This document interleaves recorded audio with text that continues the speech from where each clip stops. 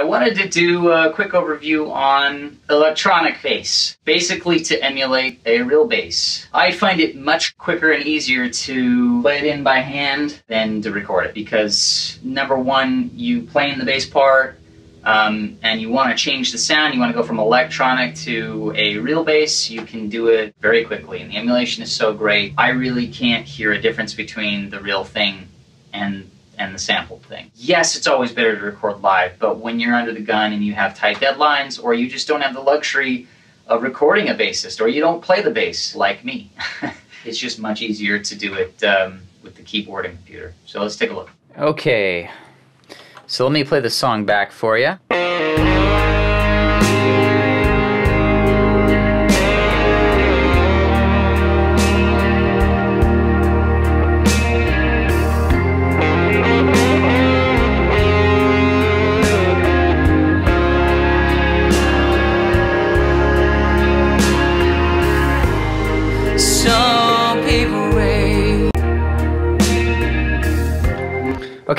So um, we've just got this really slow blues bass uh, sound. I'm just literally taking, um, played it all in by hand.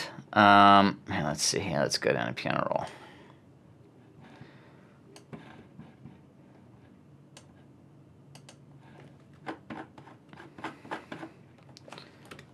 Really simple notes and I have it doubling.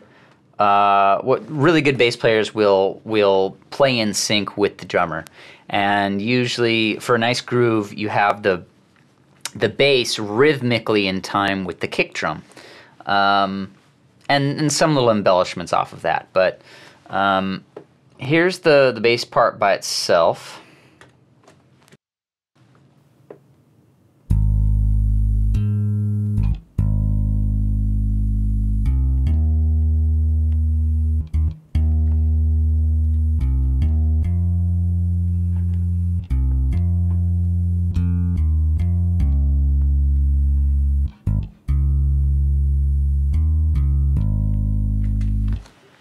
And honestly, this was 40,000 times quicker than miking up a bass and trying to play it myself or trying to find a session musician to come over to my studio and record this in and then editing up. I mean, this literally, I play it in, I don't like it, I can move the notes. If I want to change the arrangement, I can move these notes around, I can change the velocity, the, the, the attack, and, you know, I can change the sound because it's a virtual instrument if I like it. Um, and this could be a synth bass. We could change it to a synth bass if we like it, or we can change it to, I mean, we could change it to a different instrument. We could double this up with another instrument by copying it. That's why the, you know, MIDI bass is just so cool. Um, let me show you what it's doing with the drums here.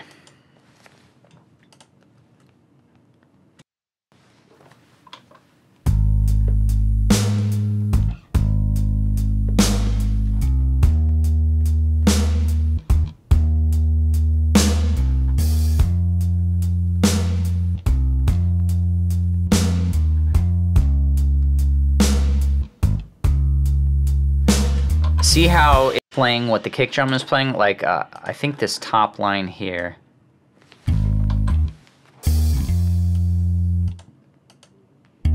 This is your bass. And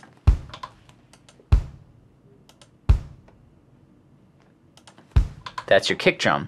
So you see how our kick drum right here is hitting. It's going bop, bop, and the bass is doing the exact same thing, and then playing little embellishments.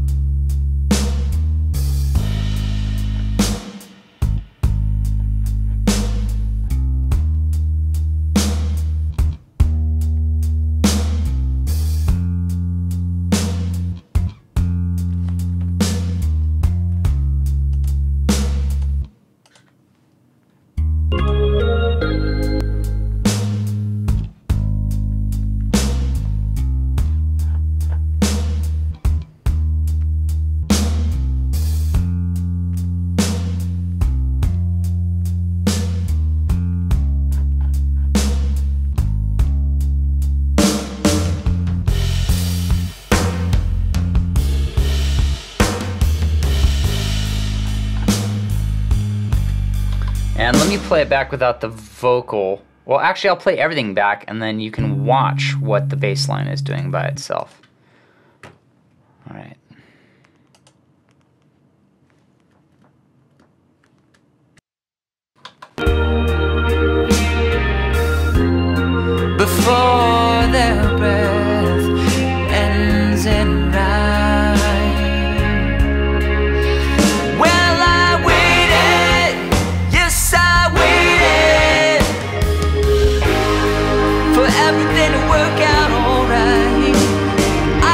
And if you see here, I'm doing a typical thing that a lot of bass players do is they just play the octave. It's the same note here and here, but you just go up the octave. Do, da, do, da, right there.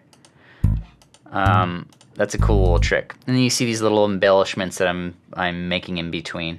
So I'm basically doubling what the kick track does and then adding some little flourishes here and there to make it sound a little bit more realistic.